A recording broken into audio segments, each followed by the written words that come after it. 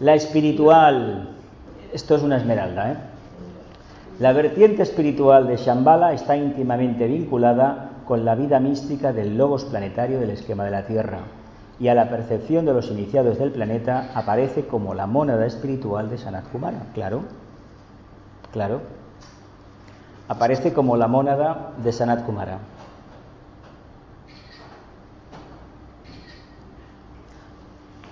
¿Lo vemos bien lo que hacen estas entidades? A ver, a ver si nos centramos.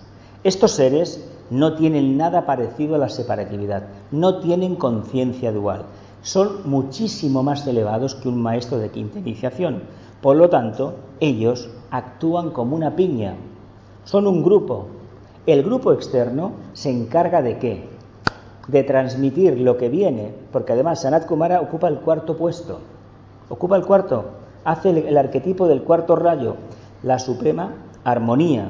Él capta de lo de arriba, de los tres budas esotéricos, lo percibe y lo exhala hacia abajo, ¿verdad? Simbólicamente, que son los budas de actividad. Y estos, a su vez, se encargan de transmitirlo a quién. Si lo acabáis de decir ahora mismo. Claro, ¿y a quién le transmiten estos? ¿Y a quién transmite después la jerarquía? Y después a los seres humanos de buena voluntad y a los cinco chakras físicos. Pero si es que, a ver, hemos, hemos limpiado la pizarra, ¿no? Otro día lo hacemos. Ahora no toca, ahora no toca. No, es que si estos dibujos existen. Mira, a ver. Vamos a ver. Pero eso significa que tenemos poca capacidad de imaginación, caray. Poca, muy poca, ninguna. Ninguna. Vamos a ver. SK, SK, SK. No, de huevo nada. Bueno, a ver si lo entendemos. ¿Qué he puesto aquí? ¿Qué he puesto aquí arriba? Sumat, esto es una S, ¿eh? Bien, ¿y arriba quién estaría? Los budas de actividad, los budas esotéricos. Aquí tendríamos debajo a los budas exotéricos, esto sería la tríada, que en el conjunto representa la mónada, esto sería la, la mónada, mónada, esto sería la personalidad, ¿verdad? Para hablar en un lenguaje humano, teniendo en cuenta que de cara a esta entidad estos términos son sumamente matizables, pero la parte esotérica sí que estaría muy acertada la definición. Entonces, periódicamente, cada cierto tiempo, uno de estos cambia por uno de estos de dentro. Van cambiando. En la, en la, en la humanizada está explicado. Aquí tendríamos a los divinos contemplativos, los nirmanakayas, en esta fase intermedia. Esto se representaría la esfera de conciencia de Shambhala. Aquí tendríamos un punto este intermedio, que representa a los divinos contemplativos, línea de servicio envidiable para la mayoría, que es la octava superior, pero muy superior, de lo que representa el nuevo grupo de servidores del mundo. Os lo he representado con estas rayas, porque esto equivale a la sinapsis que se establecen en este grupo, es decir, la interrelación. Y aquí tendríamos a la estrella de cinco puntas, la jerarquía, y a la cruz de brazos iguales, que representa al jefe de la jerarquía, al Bodhisattva. ¿Y por qué es el jefe de la jerarquía? porque ha consumado el papel, el, el, rol de segundo aspecto de la divinidad. Es el único en la tierra, como maestro de maestros, que puede expresar lo que significa el verdadero segundo rayo, que es la conciencia del logos manifestándose. La del logo solar, porque este ser, que es un iniciado de la logia de Sirio, evidentemente como todos los que tienen una quinta o más, es capaz de captar esa energía de Sirio, del logo solar, y responde a ese arquetipo. Y por supuesto, por supuesto, él puede, como jefe de la jerarquía, contactar con los budas de actividad, como hacen los maestros. Y puede contactar con, Sanat Kumara cuando lo necesiten. No olvidemos que él, él, él, en realidad es uno, pero el departamento que dirige la jerarquía está compuesto de tres entidades: el Manú, el que ocupa el puesto central, que representa el primer aspecto, el Manu, el que hace el central, que representa el segundo aspecto, y el Mahachohan, el señor de la civilización, que representa al tercer aspecto. Del Manu no sabemos, parece que es Vaisvata, el que Vaisvata, que lleva ya miles de años con nosotros, que viene del anterior periodo. Eh, a este ser lo conocemos y al que hace ahora de Mahachohan desde los años 20 del siglo pasado, información que nos transmitió Vicente en esta sala precisamente, es el conde de Saint Germain, famoso que había sido antes el, el Chohan del séptimo rayo. Y ese puesto fue ocupado por otro maestro. No vamos a tocar más. Entonces entendamos que él, él, la conciencia de este ser, está unificada y fusionada con la del Manu y con la del Mahachohan. Eso es una cosa muy importante para nosotros, porque estos tres seres que representan la personalidad de Sanat Kumara son uno. Y estos tres seres que representan la mona de Sanat Kumara son uno y Él es uno. Por lo tanto, Él es uno y se manifiesta a través de seis compañeros más. Seis grandes kumaras, seis grandes seres, siete en total, y a Él le toca el honroso puesto de estar de centinela en el medio. Es como el cuarto rayo, en el fondo es el papel del cuarto rayo, y es algo maravilloso que entendamos que este maravilloso cuarto rayo tiene la responsabilidad de manifestar el arquetipo total, que esto está conectado en ellos precisamente con el logos planetario, seguramente, no sé muy bien, a veces me cuesta creer que no haya una entidad por el medio, porque estamos hablando de planos muy diferentes. No sé si en el plano astral cósmico habrá una entidad que realmente nos ponga en contacto con el logos, con el logos planetario, en el plano mental cósmico. Mm, me cuesta creerlo, que no exista, pero lo vamos a dejar así. Entendemos cuál es nuestro papel. Nosotros vivimos aquí, en el planeta Tierra. Nuestra conciencia se está desarrollando dentro del nuevo grupo de servidores del mundo. Hay que decir que la actividad esotérica que desempeñamos en Amigos de la India forma parte de un grupo que es una célula activa dentro del nuevo grupo de servidores del mundo. Por lo tanto, él nos enseñó, Vicente nos enseñó a trabajar de esa manera. Estamos respondiendo al arquetipo que emana de Shambhala estamos respondiendo a ese arquetipo. Y nos estamos encaminando hacia la síntesis que representa esta, cruz blanca de brazos iguales. Porque este arquetipo del bodhisattva, el segundo rayo, es pura integración, es puro fuego, es primer rayo. Lo que sucede es que ese primer rayo no, no le aplicamos el nombre de voluntad, porque lo que estamos hablando es de la cualidad integradora por excelencia, la capacidad de interdependencia manifestado en la conciencia humana como buena voluntad.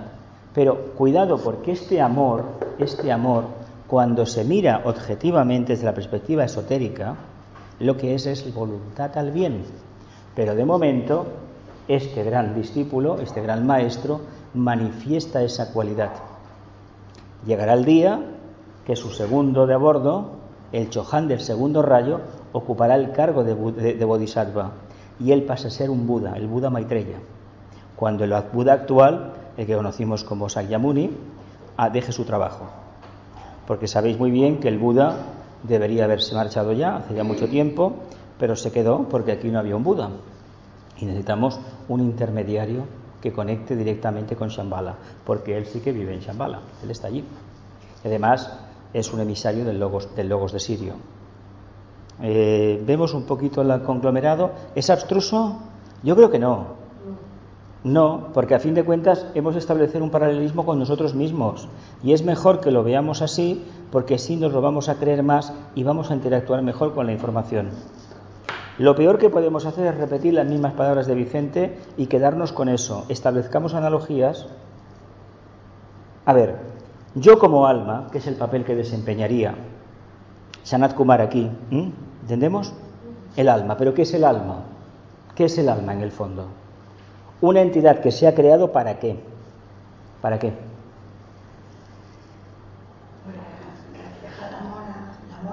Un tímido reflejo de la mónada en el camino de retorno. ¿Mm? Entonces, ¿qué está haciendo Sanat Kumara? ¿Qué está haciendo Shambhala en este momento? Acceder al camino de retorno hacia dónde? Hacia arriba. Pero hacia arriba, ¿qué significa? El arquetipo que representa el logos planetario. ¿Y qué creéis que vamos a hacer con esa actitud? Invocar al logos planetario para que inicie su camino claro hacia abajo. ¿Sí o no? que será vía alumbramiento a través de los budas esotéricos. Y estos transmitirán a Shambhala, transmitirán a los budas exotéricos y transmitirán a toda la cadena. Cada vez que Shambhala ha manifestado algo, en la Tierra han habido profundos cambios, profundas oportunidades de servir. De hecho, las guerras, los terremotos, los incendios, los maremotos son grandísimas oportunidades de servir, de manifestar el alma. Diremos que es una guerra no se manifiesta el alma. Bueno, ¿cómo que no? Se destruye lo caduco. El problema de los humanos es que construimos igual que lo que destruimos. Es decir, psicológicamente no hemos aprendido nada. Espiritualmente ya ni lo menciono. Nosotros cuando hay una guerra, ¿qué hacemos? Vamos a, reconstruir la ciudad, pero lo vamos a hacer igual con el mismo trazado de calles. A ver, cuando se ven estas imágenes por televisión, ciudades destruidas por una guerra, ¿qué creéis que es lo correcto? ¿Volver a construir como estaba? ¿Preservar monumentos antiguos? ¿Reinterpretarlos de nuevo? ¿No os dais cuenta que estamos reivindicando el egregor pasado, el que nos ha generado el conflicto? ¿O es que los vecinos nos tenían mucha envidia y nos atacaron y nos en la ciudad porque éramos muy guapos, muy hermosos? Eso es mentira. Cuando se produce una guerra es que hay un egregor en esa sociedad tan poderoso que al final explota por todas partes. Una guerra la llevamos los ciudadanos dentro, los seres humanos. Y donde ha caído una bomba o ha habido un ataque, no, esto es muy duro de explicar, pero hay una parte oscura que tiene que salir afuera. Y precisamente el ataque terrorista o lo que sea acaba sacando esa, esa parte. Pero sin embargo hay seres humanos que no reaccionan de manera negativa, reaccionan de manera amorosa, es decir, inteligente, que en lugar de destruir construyen. ¿Pero cómo? De una manera distinta. Las cosas después de una crisis no pueden ser iguales. Si son iguales nos equivocamos y por eso la crisis vuelve diez años después. Y como los tiempos cambian, porque el séptimo rayo está cada día más activo y más presente, Cualquier intento de preservar lo caduco nos está generando otro conflicto. A ver, imaginemos que viene un terremoto por aquí o donde sea, una ciudad se va al garete y la construimos igual. ¿No será una oportunidad histórica de poner parques, grandes avenidas, carriles bici? Mm, ¿Me explicáis? ¿Me, explico lo que... ¿Verdad que sí? Dime. Alta, alta, alta, alta.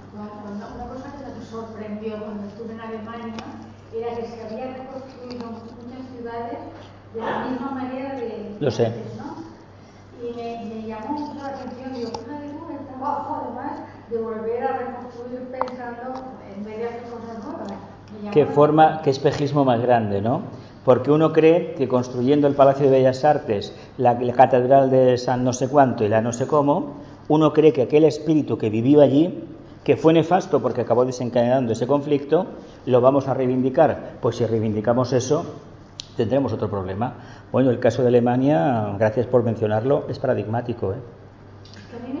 Alemania es un caso paradigmático y el caso de Francia igual. Se han llevado, bueno, mm, ya sabéis cómo, se han estado matando siglos, siglos. Te quito una ciudad, me quitas otra, y bueno, de momento, de momento se ha conseguido que los dos, los dos con un orgullo tremendo, uno con un primer rayo tremendo de personalidad y el otro un tercero impresionante de personalidad, un alma de quinto Francia maravillosa y un alma de cuarto Alemania maravillosa. Se han puesto de acuerdo y los dos renunciaron a algo que le tenían muchísimo carencia. El marco, su moneda y el franco.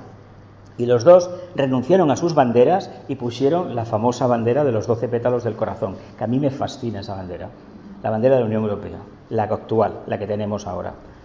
Fijaos el trabajo que han hecho, sin embargo tienen una deuda pendiente. Hay un karma que tienen que solucionar ellos.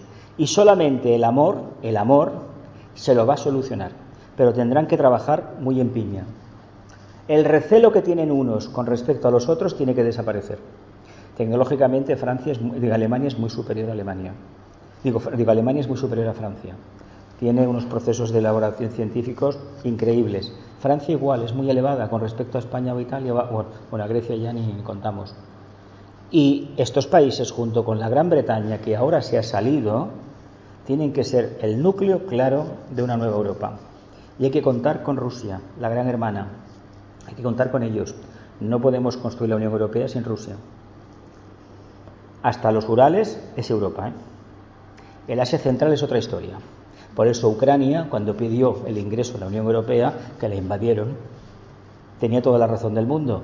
Somos Europa, es que somos, somos Europa. Desde Islandia hasta los Urales, eso es Europa.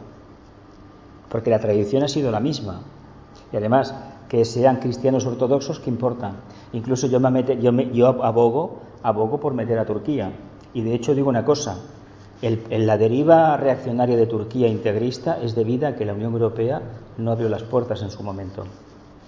El, gran discípulo Ataturk, que este hombre que está ahora de presidente quiere borrar toda su memoria, lo convirtió en un país laico, adoptó el alfabeto latino con la idea, como discípulo que era, de primer rayo, de que un día su país estuviera integrado en Europa. Porque él se dio cuenta que el imperio otomano había sido una creación de los europeos una respuesta del mundo musulmán de aquella época a la influencia de los imperios de, Occidente. Por el imperio romano, sabéis que el imperio bizantino acabó cayendo por manos de los, de los turcos. Entonces, ese proceso, ese discípulo lo vio. Hizo los cambios necesarios para que dentro de 100 o 200 años su país formara parte de las potencias europeas. Y de hecho, Turquía está en casi todo en la Unión Europea, que en, casi todas las actividades europeas, igual que, los, que Israel, competiciones deportivas, festivales folclóricos, etcétera, etcétera. Qué curioso, ¿eh? Marruecos no lo ha conseguido, ¿eh? ¿Os habéis parado a pensar? Fue colonia europea y española, ¿eh? Bueno, pero con, toda la colonia también fue colonia Ecuador y no es europeo. No, no, no, es aquí es África. Digo que este presidente europeo, este presidente turco. Erdogan. Bueno, ¿Sabéis, lo que ¿Sabéis por qué la gente vota el primer rayo que tiene Turquía? Turquía tiene un primer rayo increíble. ¿Habéis estado en Turquía? A ver, cuando ves, vas por la calle y ves la gente cómo va, te das cuenta clarísimamente qué rayo tiene el país. ¿Qué rayo tiene el país como personalidad? Ellos tienen no, la decisión, la decisión. Se les nota este aire marcial, son un pueblo muy muy guerrero, ha sido un pueblo muy guerrero, ¿eh? pero hay muchos pueblos en la tierra igual ese primer rayo lo tienen. Por eso la respuesta suya es la que es. Es decir, a mí no me pisa nadie. ¿Eh? Que por situación tiene que ser guerrero. Además, aniquilaron al pueblo armenio, ¿eh? cuidado, ¿eh? Aniquilaron al pueblo armenio, cosa que ellos niegan. Ellos niegan. ¿Y sabéis por qué este exterminio no es reconocido mundialmente en toda su dimensión?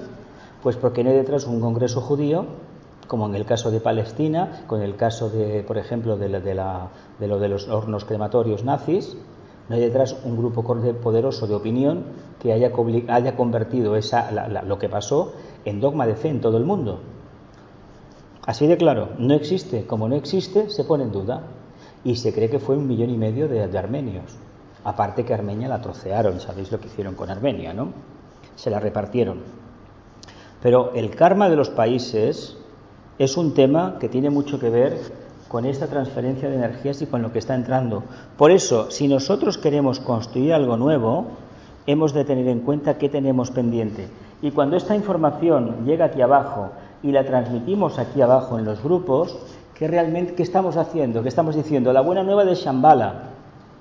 ¿Para qué vamos a hablar de la gente de, a la gente de Shambhala si todavía no son capaces de construir un carácter nuevo, no son capaces de pensar en términos de almas encarnadas? ¿Para qué?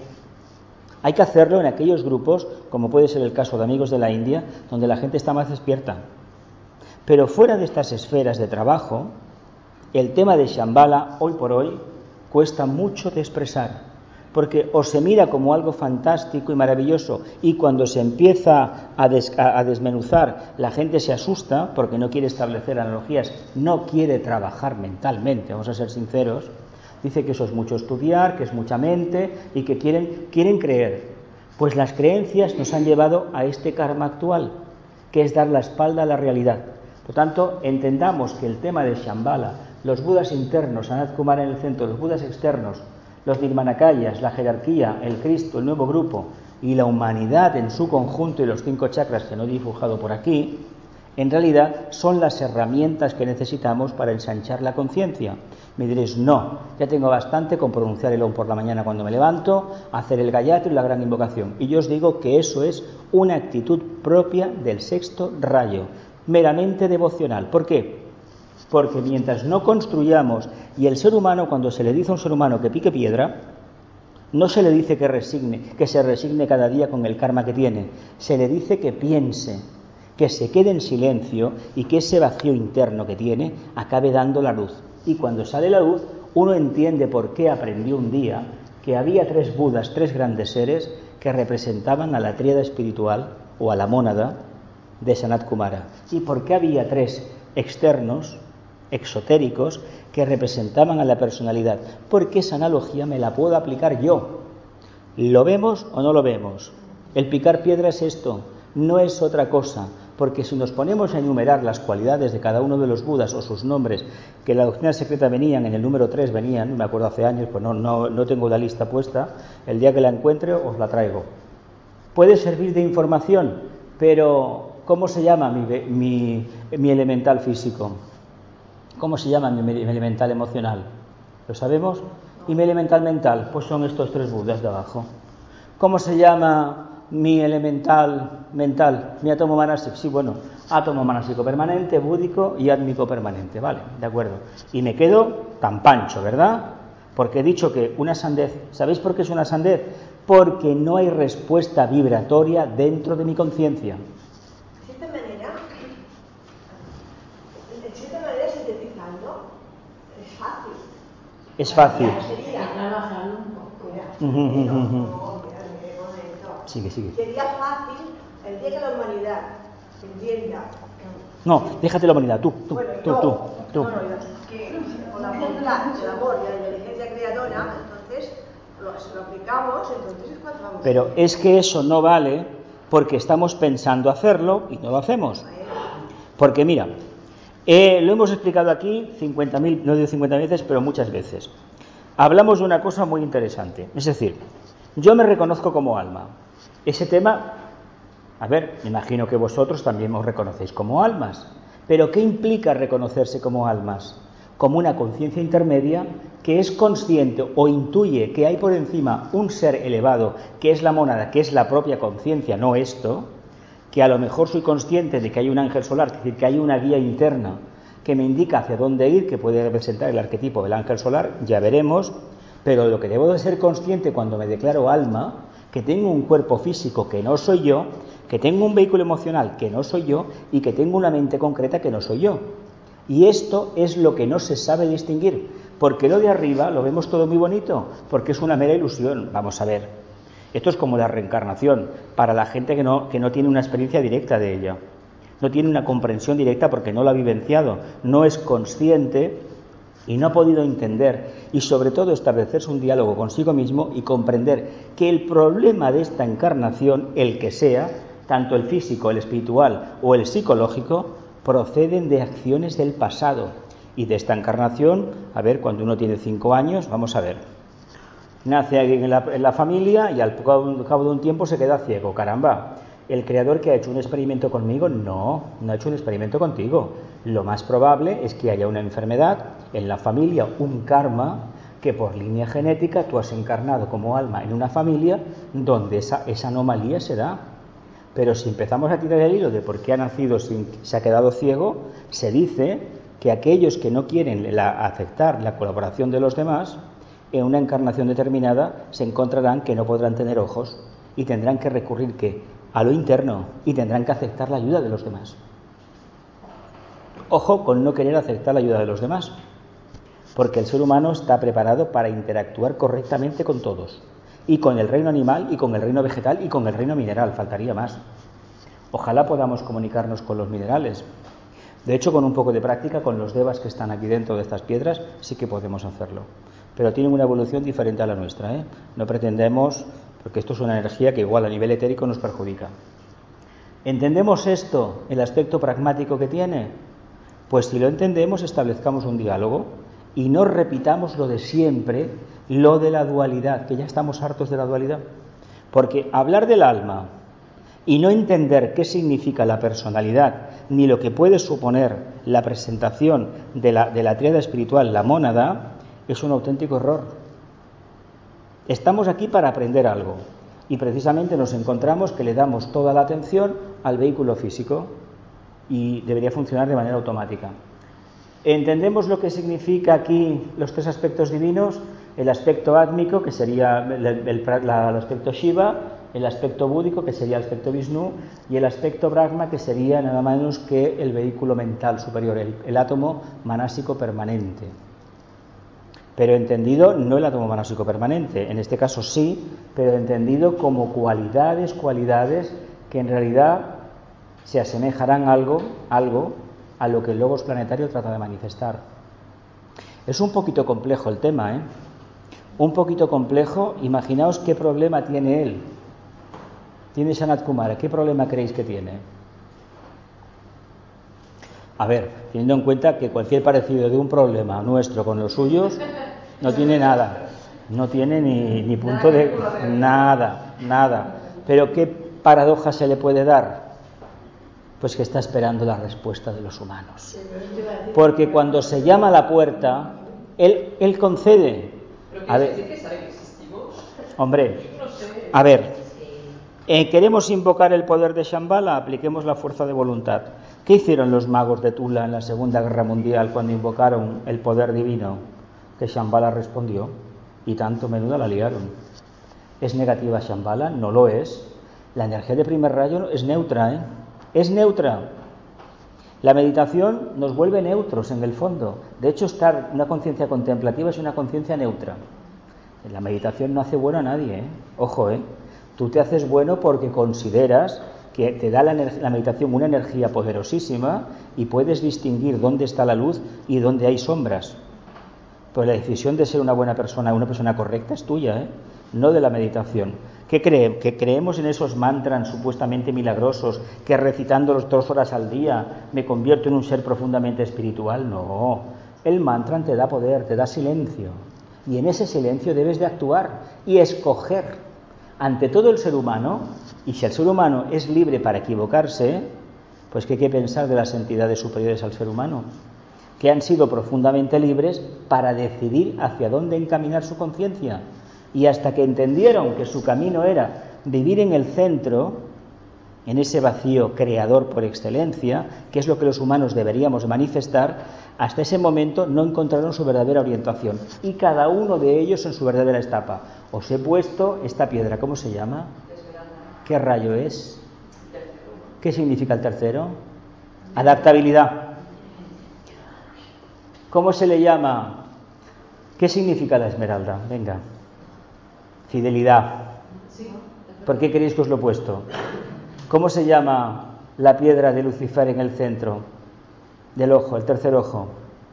Lucifer, el espíritu de la mañana, la otra parte de Dios, el aspecto luz de Dios. La esmeralda de Lucifer. En el, en el entrecejo llevaba una piedra preciosa. Era esto. Porque con esto veía todo. ¿Tenemos una esmeralda nosotros? ¿Un tercer ojo abierto? Esmero, Esmero. Hay que tener algo más que esmero. Hay que tener algo más que esmero, Santi. Está muy bien, pero cuidado porque esta piedra, esta, digo esta piedra, este color, esta actividad inteligente, continua adaptación, ¿sabéis para qué nos adaptamos? Para ensanchar la conciencia. Por lo tanto, estamos hablando de lo mismo. Él representa ese aspecto y si él manifiesta ese aspecto es porque este, este lo tiene y si tiene este, tiene los anteriores. Tiene el psicológico y el físico. Eh, ¿Cogemos bien lo que quiero decir? ¿Sí? ¿Mm? ¿Lo vemos bien? Cuesta un poco. La esmeralda no se, la esmeralda no se puede materializar, ¿eh? Lo siento. Dado el cable.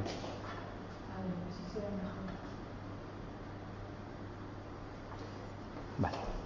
¿Y por qué no se puede materializar? A ver, coge el rubí, te lo doy. Ah, bueno, que...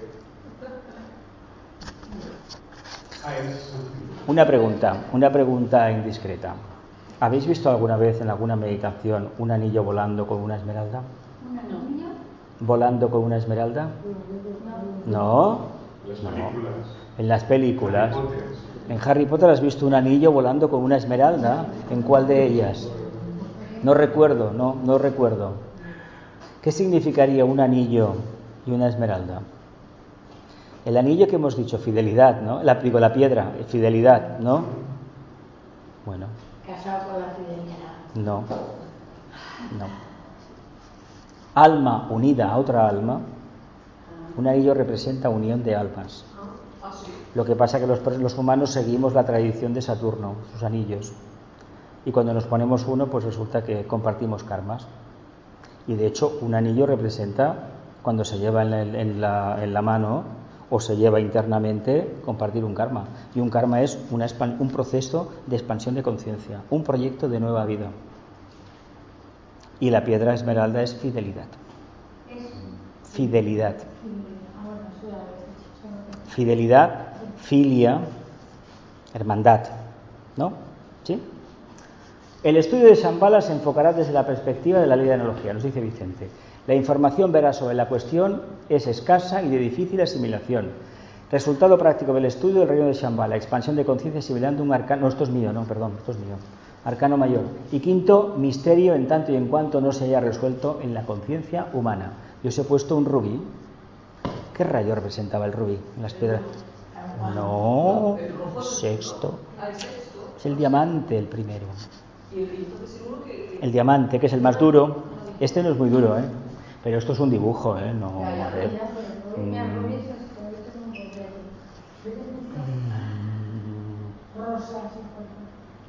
¿Bonito? ¿Bonito? ¿Por qué la expansión de conciencia puede asimilar un arcano mayor? Lo he puesto con K, ¿eh? En homenaje a, a, mi, a, mi, a, mi, a mi apodo, vaya. ¿Por qué? ¿Por qué revela un arcano mayor? Si los humanos, los humanos, entendemos el papel que desempeña la mónada y dejamos ya porque lo hemos superado la fase del alma, Shambhala estará aquí. ¿Lo entendemos? ¿Por qué Shambhala se nos presenta tan lejano? No es que Shambhala lo han desplazado a los Andes, no es que siguen el Asia Central, no, pero qué tontería, qué tontería. Si lo importante es que dentro de nuestra conciencia evoque. A ver, ¿alguno de nosotros alguna vez ha tenido alguna visión especial? Como por ejemplo, un gran palacio con unas grandes cúpulas en forma de bulbos, como lo que es las iglesias ortodoxas rusas, orientales, de Europa Oriental. ¿Habéis tenido alguna visión de estas? Qué pobreza de visiones, ¿eh? Ay. no, una vez que había sido, templario. Y yo vi en una meditación, me acuerdo que empezamos un curso de técnica metamórfica, la señora empezó con una meditación y vi cómo me ponían en un potro de castigo y me, bueno... ¿Qué harías? ¿Qué harías? ¿Qué harías? Buscar la luz y el amor, seguramente. Eh, ¿No habéis tenido ninguna visión de este tipo?